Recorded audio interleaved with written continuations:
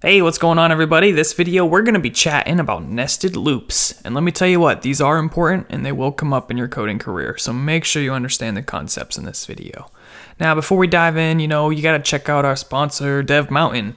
Dev Mountain offers classes in JavaScript based web development. So if you need to get up to speed, basically go from nothing to pro in just a matter of weeks, then check out Dev Mountain. They have classes in person and online. If you go in person, the housing is at no additional cost. So yeah, that's like basically free living. So that's pretty sweet. Check it out. And um, the link is in the description. So let's get started. Let's go back to loops and let's just see what we can do. So let's just create a for loop and we'll just create the iterator to be i and we'll say less than 10. So this is going to go from 0 to 9 and then we'll just increment i.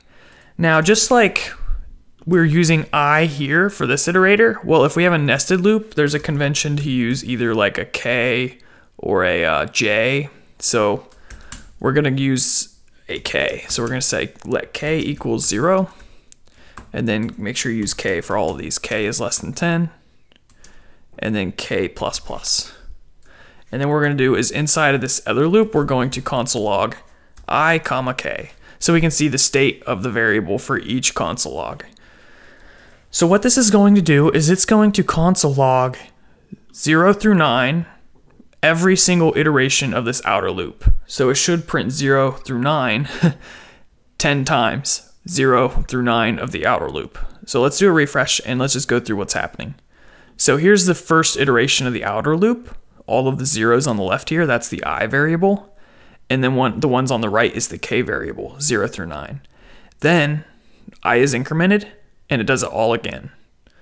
Then i is incremented and it does it all again, the 2's. And then it's incremented to 3 and it goes all the way again from 0 to 9. So you can see the pattern here. Basically, this for loop is going to execute every single iteration of this for loop. That's the way nested loops work. And oftentimes, you can use the variables, the iterator up here, inside the for loop down here. So for example, we could set k equal to i. And because i changes every single iteration, it's going to change the way the loop works each iteration of the outer loop.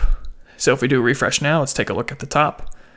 It goes from 0 all the way up to 9 for the first iteration. And then it starts at 1 because i is 1. And then the next one starts at 2. And then the next one it starts at 3.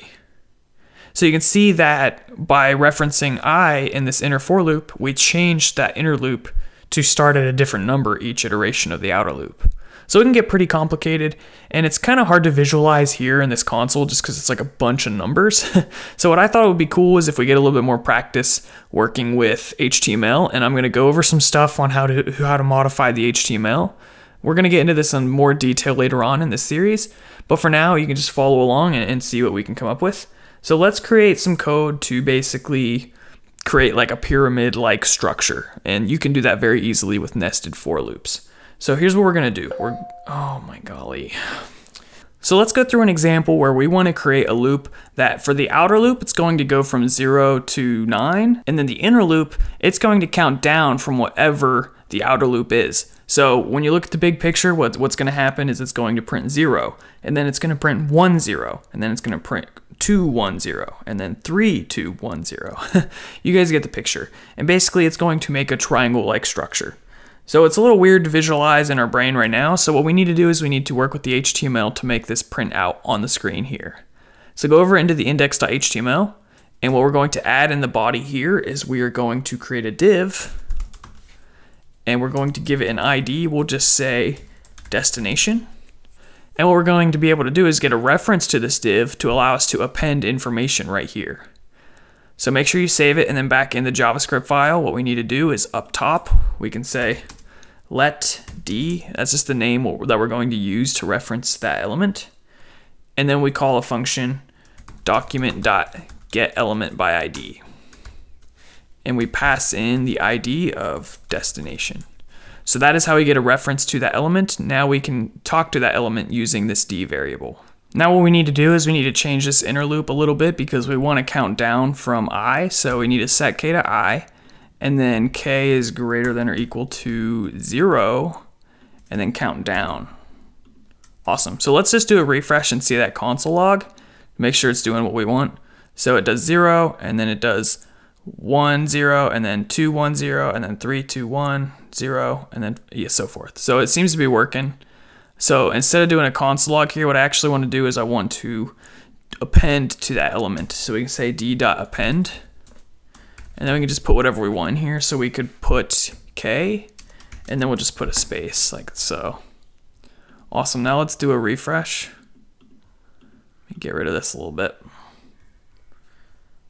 All right, so we do a refresh and it seems to be working, but it's not quite there. What we need to do is we actually need to put a break because this should be on its own line and then this should be on its own line and then this should be on its own line. So what we can do to do that is in here after the for loop, the inner for loop, sorry, after the inner for loop because we want a space after each iteration, we could say document.create element and then inside of parentheses br. So this is how we create a break and we need to assign that to a variable. So we're just going to assign that to br and then we just say d.append child and pass in that variable. So that is the syntax to create a break, do a refresh, and there we go. So it goes 0, 1, 0, 2, 1, 0, 3, 2, 1, 0, and so forth. So that's a little bit of fun with some nested loops. It seems kind of uh, kind of pointless right now, but later on it will make more sense once we have nested lists and so forth. Lots of useful information here. Make sure you guys understand how this works. Nested loops was one of the hardest things I had to get over to really become better at programming. But once I got it down, I finally understood that they can be used for lots of different things. So make sure you understand this inner loop, and how it references the variable here, and how each one of these is printed out in what order. So thank you guys for watching. If you have any questions or comments or concerns, let me know in the, in the comments below, and I'll see you in the next video.